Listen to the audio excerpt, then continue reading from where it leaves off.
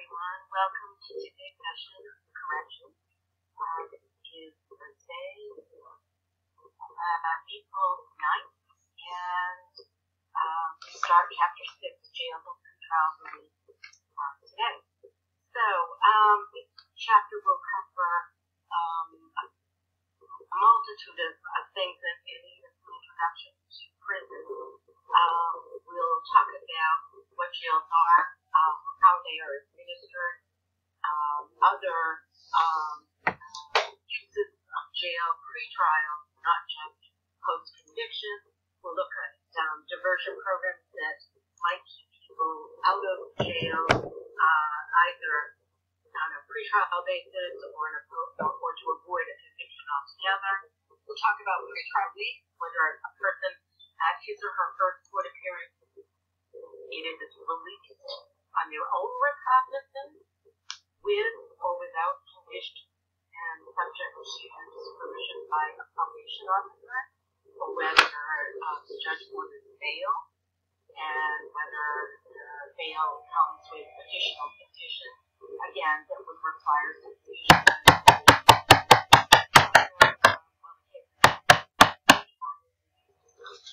We'll talk about jail functions and purposes, um, the characteristics of the jail population, and then talk about characteristics and uh, new generation jails or various types of um, supervision and architectural design. Okay, um, the first thing I want to talk about is diversion. Diversion is a, a form of community supervision for individuals who have not been uh, formally sentenced and may not have yet even been formally arraigned uh, in court. They've been arrested, but formal proceedings don't begin until there's a court arraignment. And um, there are a number of different diversion programs uh, in every state, including Massachusetts. So uh, some police departments have uh, police diversion programs, typically for juveniles, where um, rather than commence criminal proceedings or juvenile justice proceedings, um, they might offer the juvenile an opportunity to complete a program um, and avoid entering, um, formally entering the juvenile justice system. Um, district attorney's offices um, also have diversion programs. Um, uh, again, it depends upon the DA's office. We'll look at one in Plymouth County. Um, we do have an adult diversion program, um, which occurs prior to arraignment for individuals um, who are a, a drug uh, or alcohol uh, um,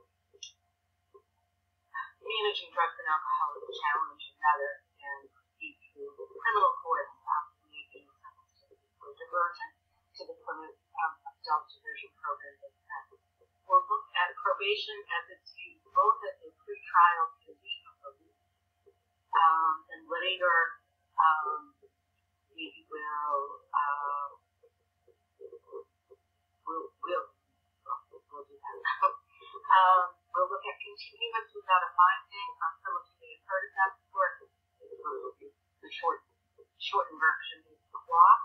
Um, and we'll talk about that. We'll talk a little bit about special support, and I've already mentioned about post-diversion programs um, that uh, may be independent of the police department, what the district do in this The Plymouth um, County Adult Diversion Program uh, is for individuals who are over the age of um, 18 and uh, for whom uh, drug and alcohol is um, a contributing factor. And offenders must appeal to court that they are so they've been arrested or summoned to court. They're not formally arraigned um, before the formal proceedings have not begun, and they may be um, approached by the DA's office to offer an opportunity to participate in a drug and alcohol uh, education program and also perform community service. Um, successful completion of that program takes usually about 90 days, and if the person is successful in completing drug and alcohol education and the mandated um, number of community service valid, then the case is dismissed by prosecutor prior to um, arraignment. So there's no uh, there's no court record um, of, uh, of any kind of um, and that's always important to uh, avoid uh, creating or uh, records if we can avoid it. We can't always do that, but we can we should. Um, okay, when a person is arrested or sometimes um, less receive a summons from the court, court order requiring them to appear in court on a time. Um, the first thing that happens is an arraignment from A-R-R-A-I-G and M-E-N-T. In Massachusetts, that first court occurs is called arraignment. In um, other states, that first court occurs is called an initial appearance. At an arraignment, um, the, the prosecutor is there um, representing the Commonwealth, representing. Um, and the judge, when she calls the court case, you're going to go through a process where the charges will be read. Um, the judge will determine if the defendant um, has uh, an attorney with him or her. If not, um, if they can afford to hire counsel. If not, we'll have them evaluated um, by the probation department to determine if they qualify for court-appointed counsel.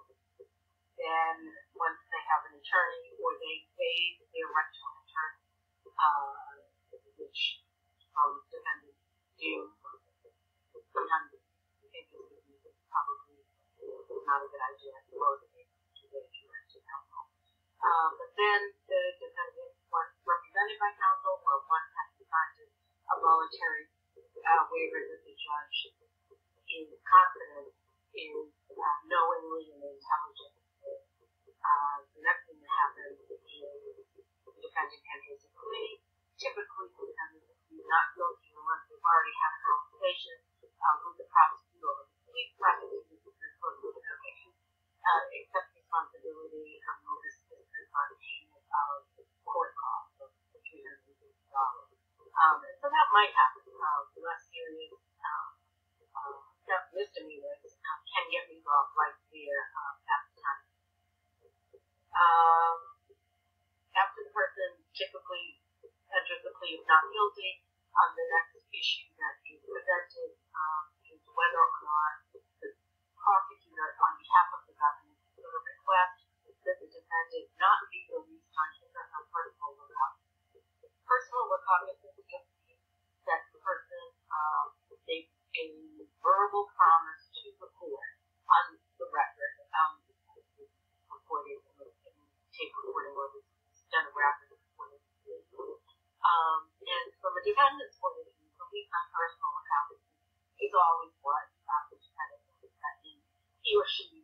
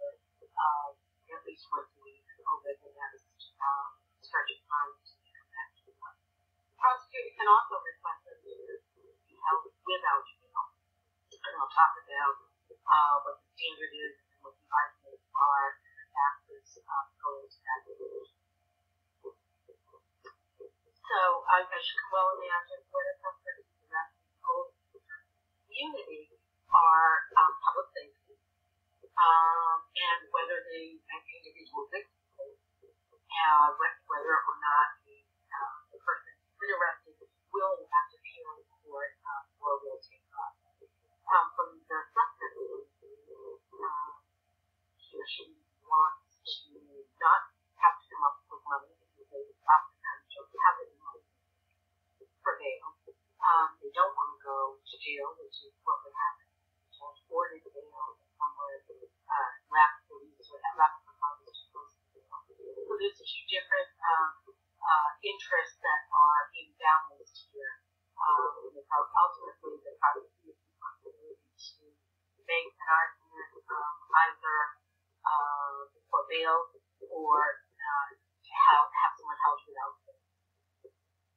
some personal recognizance is just as I said, a verbal promise, no financial obligation.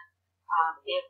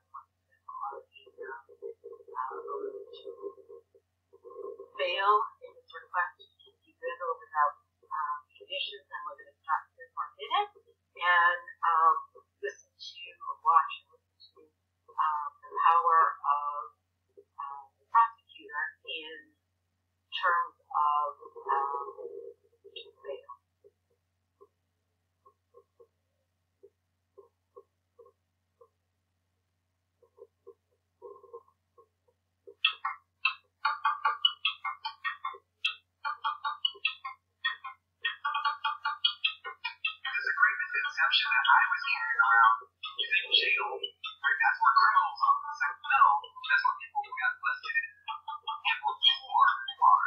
So why is that one reason for the um, black male and this practice we have of making people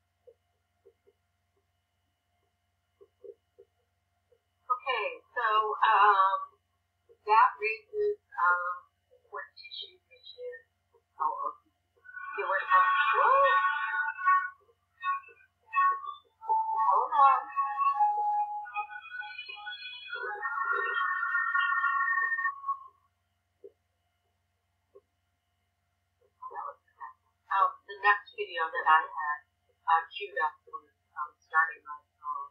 And, um, okay, um, so there were some mixed seasons perhaps um, in that prior video, uh, or could be interpreted as that. The, um,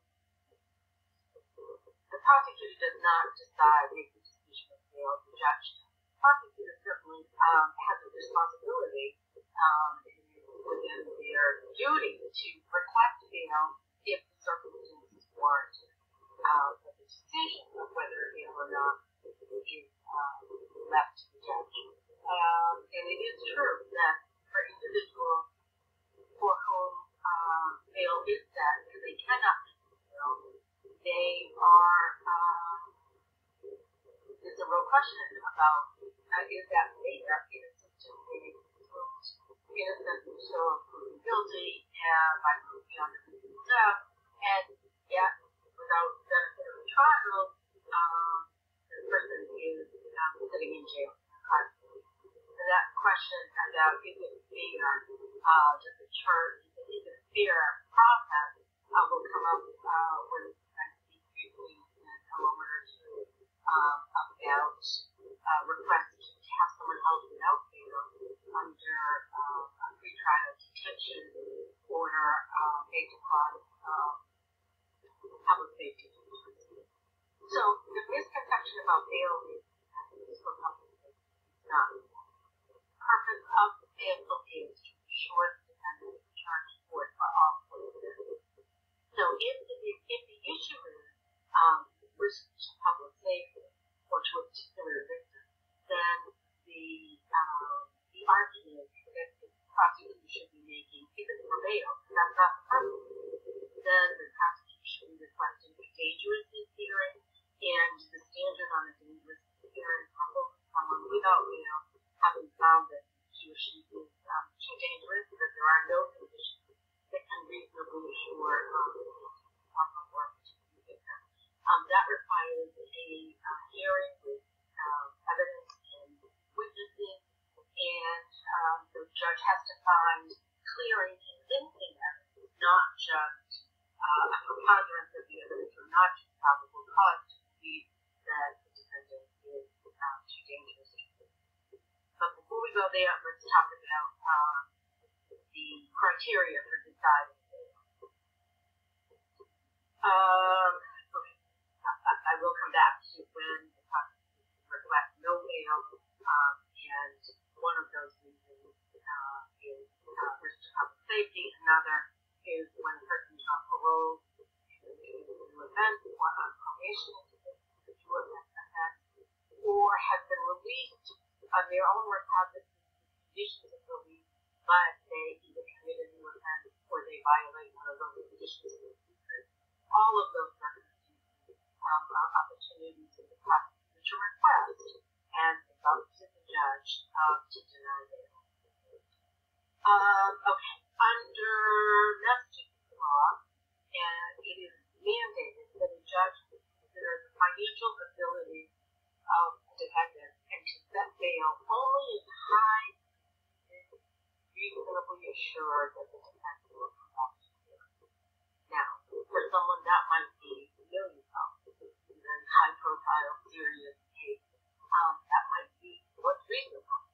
To someone who is um, not doesn't have access to working maybe an hourly job, wage job, or maybe working part time, maybe uh, has children to care for, um, has bills to pay. The amount of money that's necessary to ensure that that person will have a reasonable insurance can be much less. There, um, there are people um, for whom even fifty dollars a day would an money that they would not be able. And for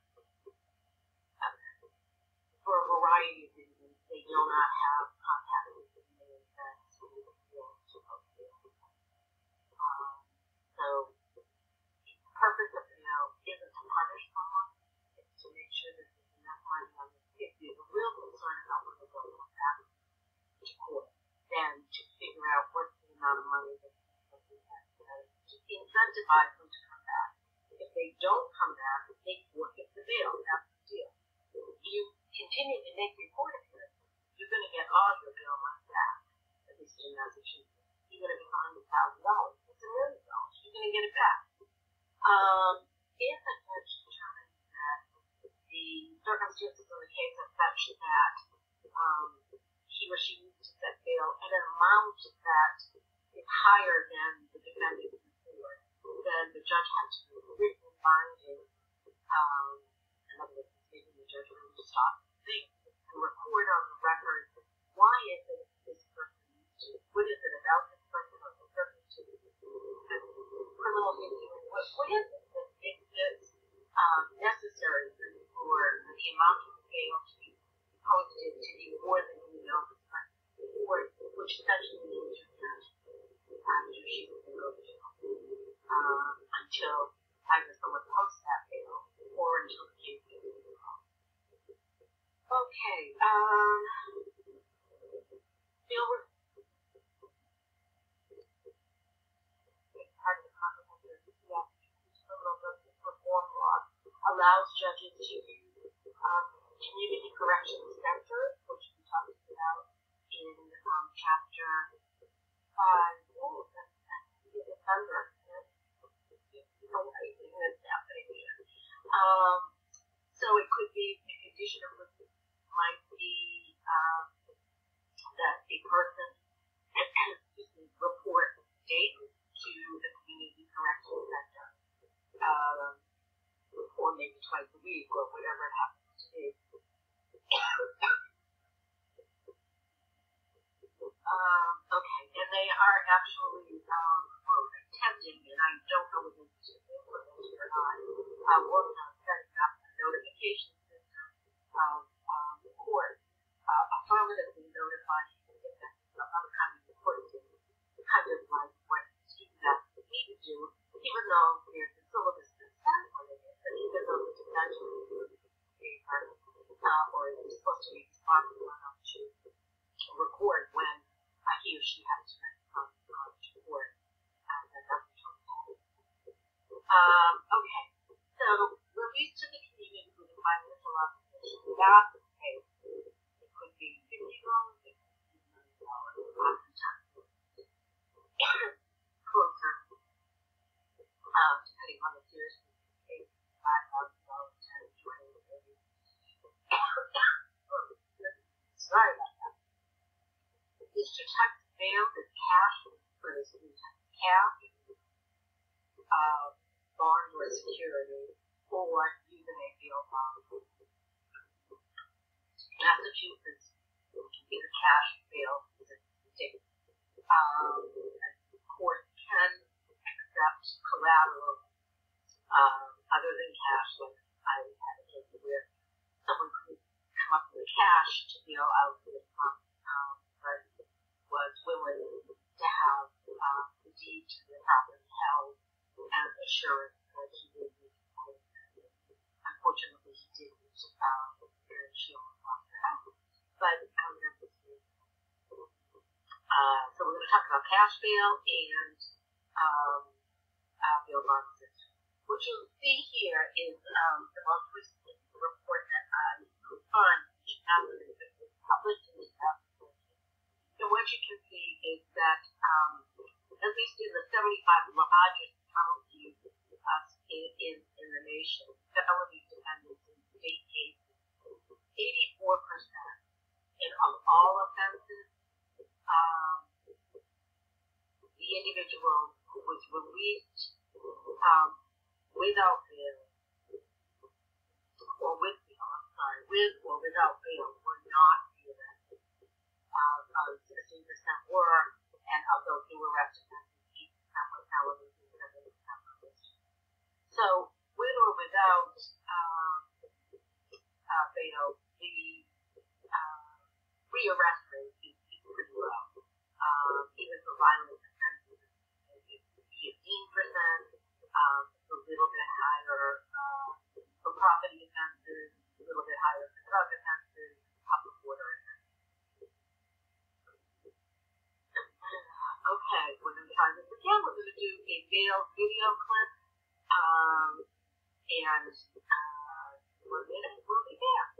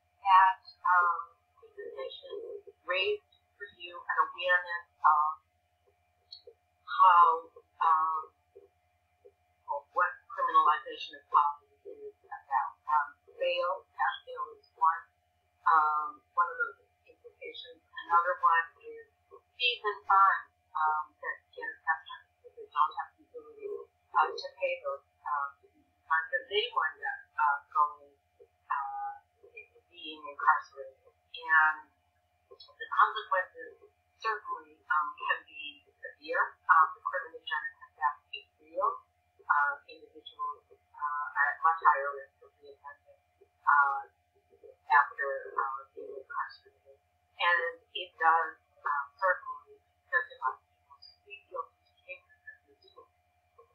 order to um, just get out of jail. If he's guilty, um, it, they'll be on probation and go out and find out who's fit for probation. Doesn't always work that way. Uh, life happens and you stumble in the law, and when that does happen, um, those who are um, not infrequently returned um, to, to prison. Uh, I'm sorry, to, to jail. And um, Um, conditions of release on um, um, sorry, it's not going to be able to start. Um, okay.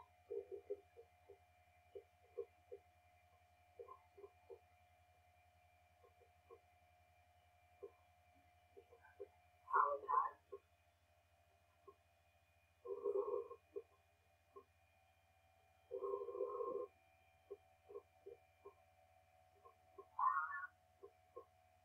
Okay, so we about conditional pretrial release, um, violation of the conditions of pretrial release uh, may result in bail being revoked. So if someone, uh, the judge orders bail, post bail, but out and is also subject to conditions of release and violates one of those conditions, um, then bail can be revoked and the, um, defendant can be incarcerated. And, and uh,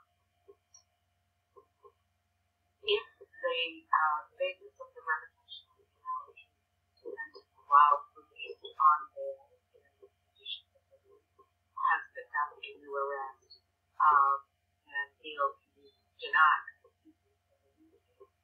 um, in the prison house without bail. Um, the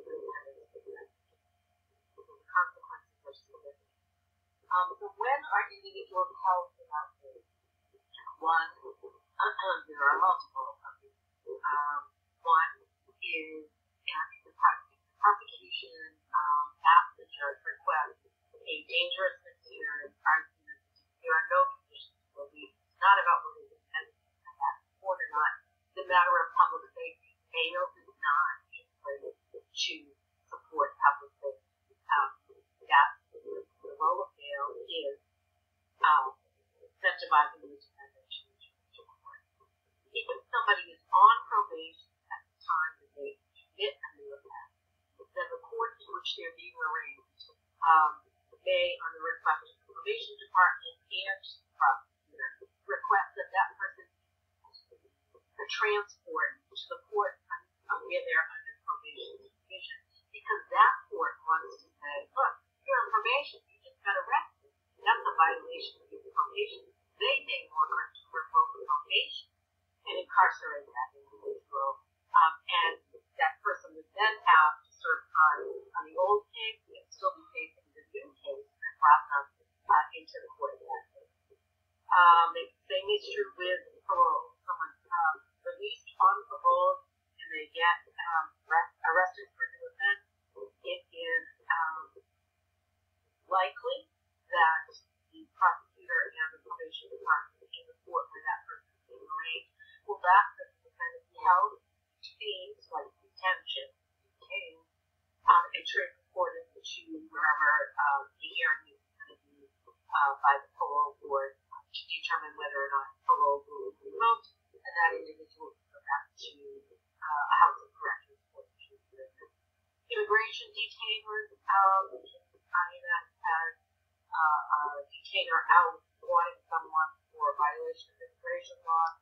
Uh, it's possible that the court uh, would, depending on what state you're in, more frequently in the states than it happens. If someone is a warrant in the judicial justice, uh, say they've a warrant out for their arrest. In another state or a country with whom we have uh, a uh, reciprocal agreement, then the prosecutor would ask that that defendant be held uh, under fugitive justice warrant and uh, pending that other law enforcement Is held without bail if the defendant defendant's trial proceedings with a circle of processes uh, or bail with conditions of So lots of reasons why people wind up um, being in jail, not having been convicted of a crime. Um, the dangerousness statute in Massachusetts um, can be um, applied if the person has committed a felony offense um, that involve the use or attempted use of threat insurance for physical force, um, substantial risk of physical force, um, or any crime of robbery or arson. It includes misdemeanor offenses, uh, violation of a restraining order, uh, abuse of a household member. It includes certain drug offenses, intimidation of witness, uh, third or subsequent for driving operators under the influence of uh, drugs for alcohol and certain other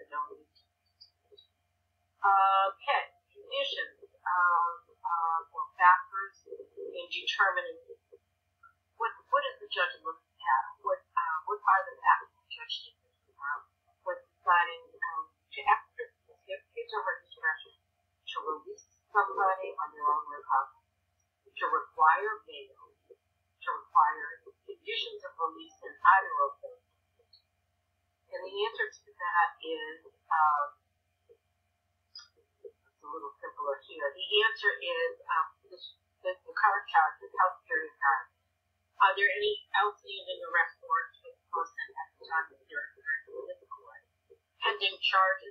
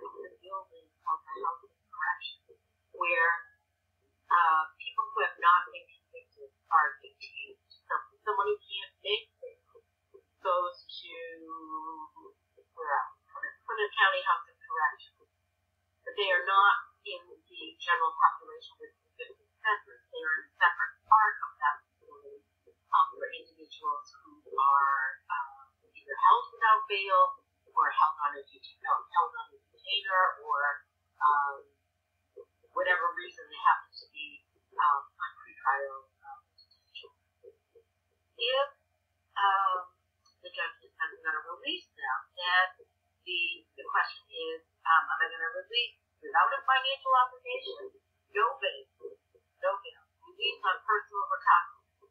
But that still happens in the conditions. I will release you on your personal recognizance, but there are conditions that you have to comply with. If you violate those conditions, I can revoke your release and I can either impose bail or I can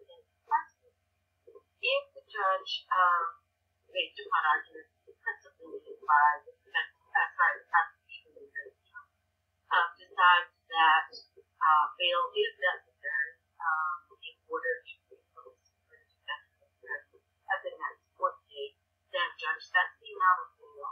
And again, the prosecution can request um, conditions of release in addition to bail. Um, so it's, um, and all of this takes about, on average, 30 seconds. That's how long you're working with lab. So um, there's a lot going on, a lot to think about. Um, the consequences can be significant uh, for the for public, public safety, the victim, certainly for the defendants and the families, um, and it um, moves along quickly. Okay, uh, consequences of the pretrial were in the, um, various that watched. Um, de- detained defendants, defendants who are detained through trial, uh, held without bail, or can't make bail, are more likely to be convicted um, than those um, either on personal recognizance or. When convicted defendants who have been detained are more likely than uh, defendants who have been released um, either on personal recognizance or bail to receive um, a sentence of incarceration. And um, those are troubling circumstances because it's not always clear that there are circumstances other than the fact that the person was detained that um, explains uh, the different, different, disparate impact um, on individuals who are held without bail. for example. uh, so these are some questions um, uh, that might go into answering that question. Um, and certainly the first question, might a jail defendant be more, be more likely to be guilty than a defendant un- under trial release? The answer is absolutely yes. To get out of jail, um, even if it means pleading guilty to a crime they didn't commit. Um, they either get out um, for time served or they get out and they're on probation. Um, people who are in the community, who are released without, uh, released on personal recognizance, or are able to post bail, are able to demonstrate some stability in their lives. They, they, uh, and they can stay out of trouble and not get rearrested. Uh, they have a greater likelihood of being seen as a good probation candidate rather than a candidate for either um, incarceration. Okay. Um, hi, Brandon. Welcome. It's just you and me. Um, so it is a recorded session. You'll be able to review it in a minute on, on in chapter uh, six on jail. And uh, what? I'm on chapter six on slide number 38. So jails are one type of correctional supervision. We know that uh, there are, in 2019, there were approximately uh, close to 7 million people under some form of correctional supervision. About uh, one in three of those people were incarcerated in um, jails or prisons. However, in many states, the number of people who are incarcerated in jail are there um, from not be convicted um, of a crime. And that's true in uh, across the country. Um, that is also true. Um, okay.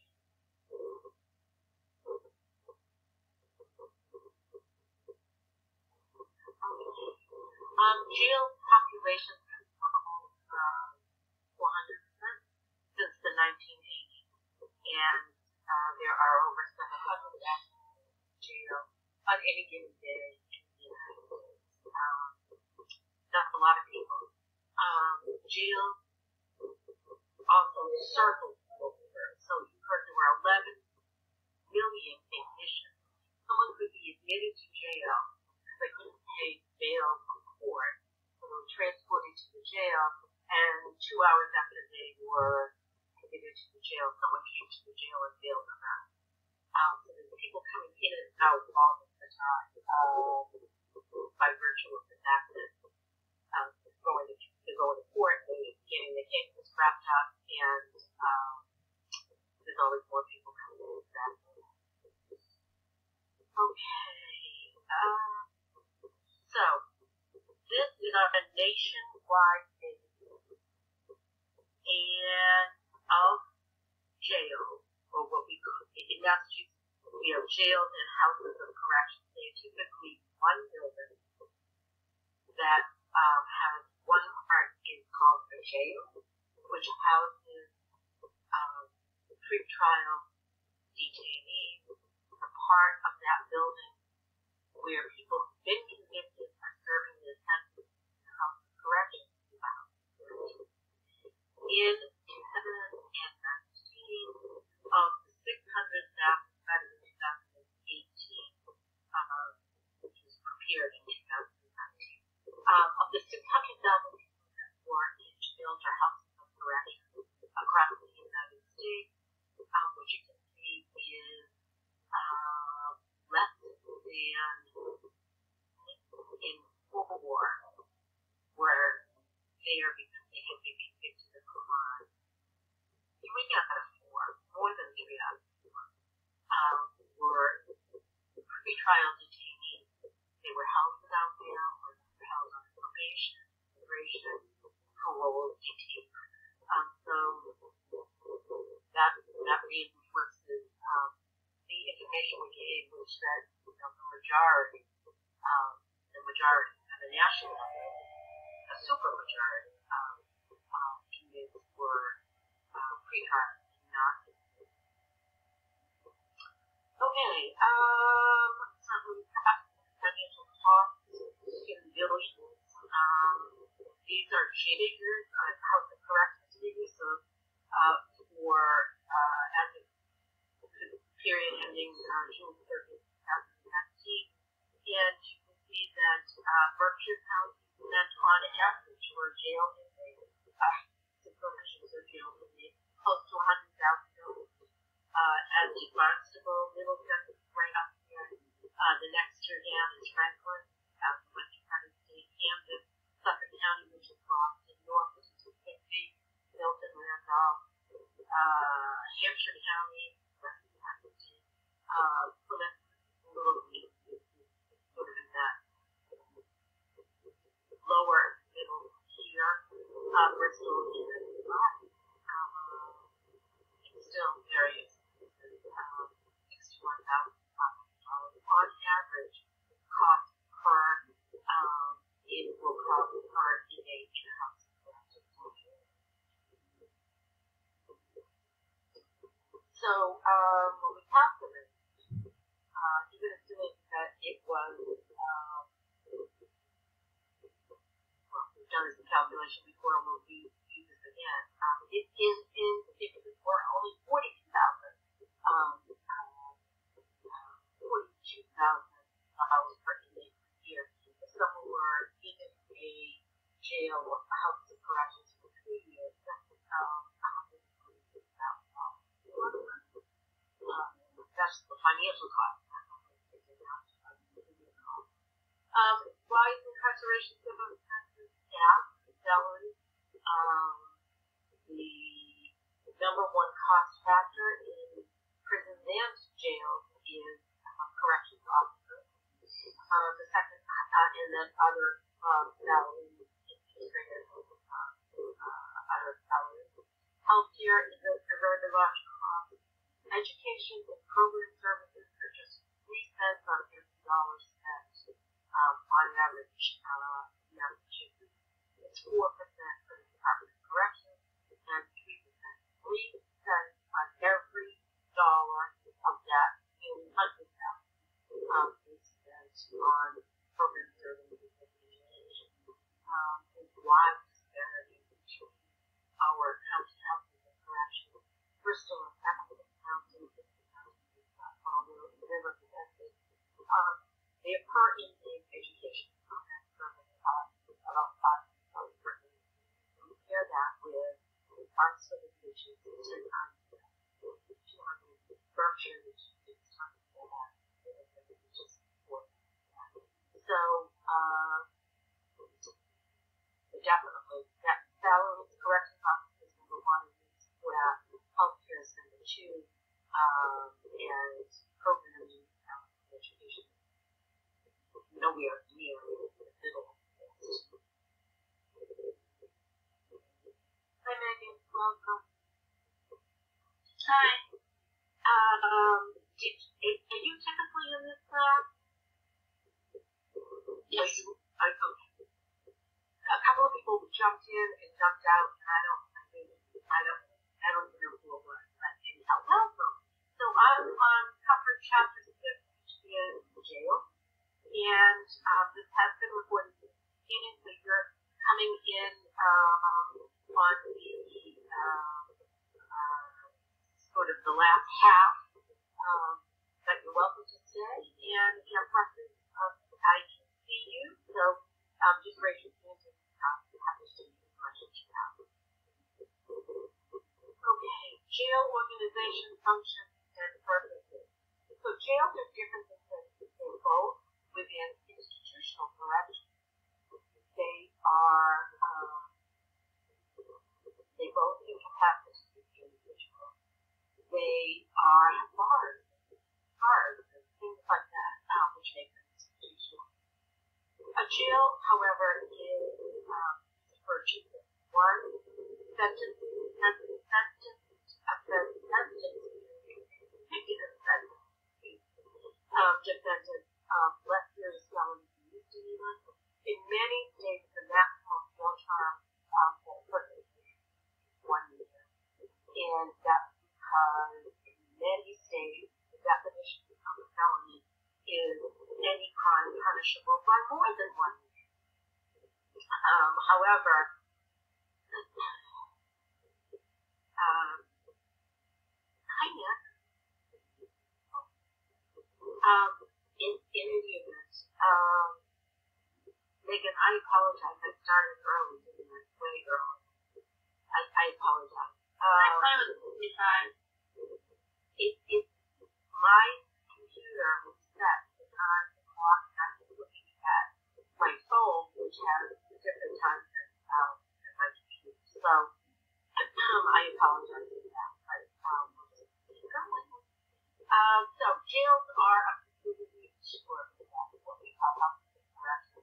Um, do, um, are the, are the facility that takes custody over a convicted In other states, um, a felony is any crime punishable by more than a year, and therefore, um, jail in other states, is the maximum period of incarceration in jail or what we call house correct. In Massachusetts, the maximum um, sentence is um, two and a half and uh, that's per offense and individual uh, either concurrent or consecutive sentences. Um, it's a little bit tricky, but um, it can extend beyond a total of the half years. That's not, uh, not generally not. Okay. Uh.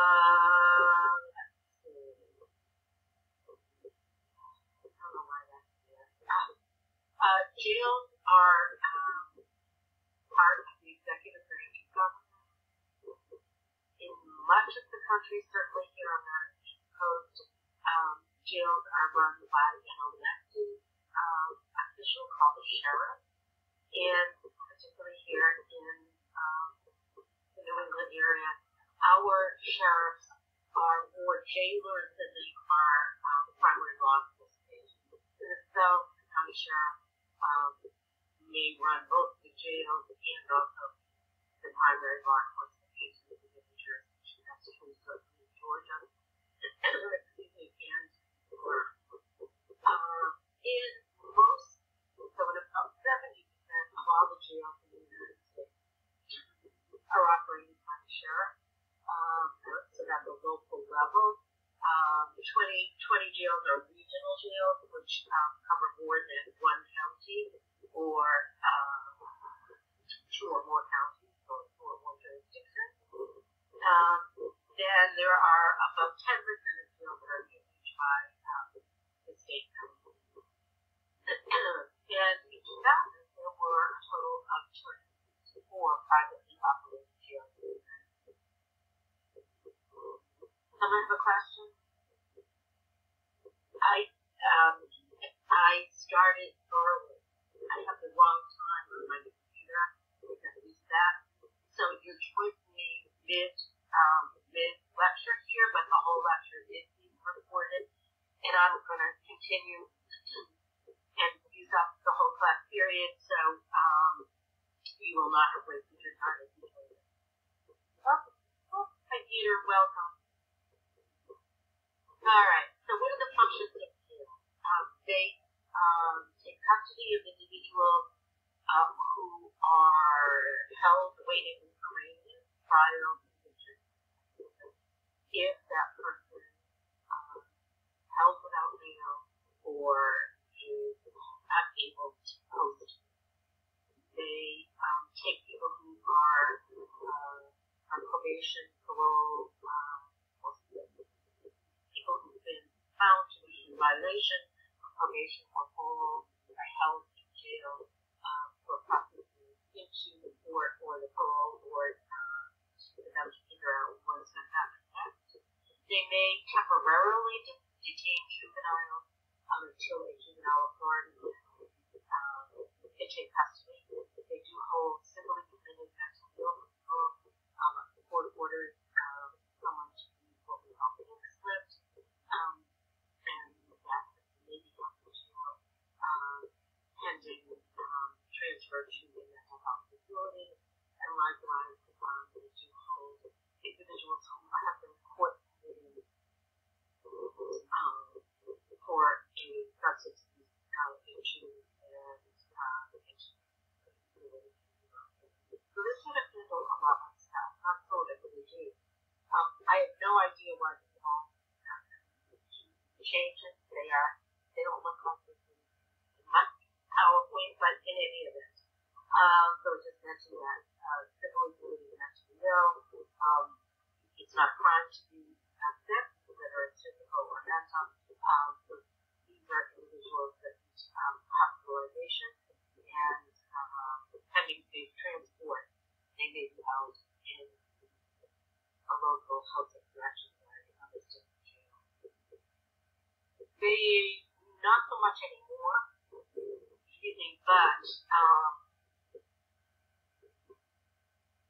there was a period of time, um, and there is still in some states where prison overcrowding, federal or state overcrowding, has pushed some, um, some of that overcrowding to be absorbed by, by jails. Uh, the Plymouth County House of Corrections does still, I believe, house federal inmates, and uh, there may be other of corrections in Massachusetts which do as well. As a general proposition, our county facilities are only inmates who are sentenced to a house of corrections or pretrial. Okay, jail is different than a police lockup. Um, it's also different police lockup is that small holding cell at the police station. Many police stations in smaller cities may only have one cell that is in older, in older, uh, where there haven't been new police stations. So there might not even be a lockup. Um, but the lockup is um, not designed to incarcerate, it's a holding cell. Um, typically for someone who's um, awaiting a decision about whether or not to have to bail, and um, if the suspect is going to be there for any period of time, the police are generally going to transfer that person to the house of corrections. They are not uh, able to, uh, they're designed to provide um, accommodations for mentally care or uh, food or other services. So people who are in lockup generally stay for 24 hours or less. That is different in other states. Um, but here, uh, every police department will tell you, want to um, we are designed um, to accommodate them. And I think it's a very temporary, necessary temporary um, situation. Okay, difference between prison and jail uh, primarily is the length of and the offense for which the defendant is being sentenced. There are certain crimes, as you know from chapter 4, which um, can only receive a sentence of incarceration, which those are one years and um, prison control be up to life. Um, jail in Massachusetts can only hold a person on a conviction up to two and a half years per offense, and it's typically no more than um, three and a half or four years for multiple offenses. Um, the um, demographics of the prison population is much different in high average. Third of um, some jails are individual people that are there, and there are three detainees uh, held without bail, held on a um, detainer. They are not um, the location of jail tends to be located more um, close to the courthouse, and courthouses tend to be uh, in uh, the downtown areas of um, prisons. On the other hand, uh, tend to be located more uh, rural, if not uh, very rural areas, uh, which some of which have now become more suburban but certainly more remote than the downtown areas uh, uh, uh, a jail or a hospital. Um, they are administered differently. Administered by the state department Department of Corrections, and on the federal level, prisons, um, are managed by the U.S. Bureau. Jails are usually operated um, uh, by a county sheriff. Okay, so there's nine of you here. Um,